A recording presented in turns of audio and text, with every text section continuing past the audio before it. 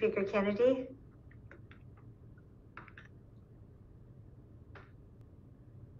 Good evening, everybody. Merry Christmas to all.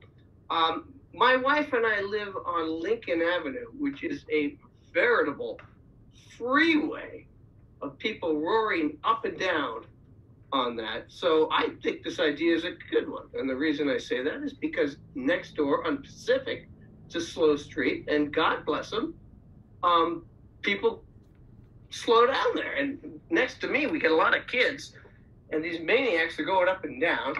Um, so I'm all for this. And um, I also want to give a shout out to the Alameda Police Department.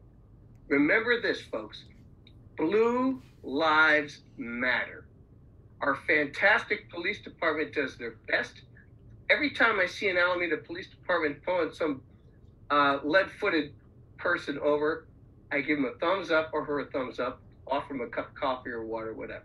So, good idea. Uh, think it's great. So, I uh, wish we could do the same on Lincoln, but since it's a four uh, lane street, um, we're fortunate. We our house is set back, so we don't have to put up with it. So, you guys are doing it right on this. Trish, how you doing? You're my hero. Okay, you guys take care. Thank you. Thank you. Our next speaker.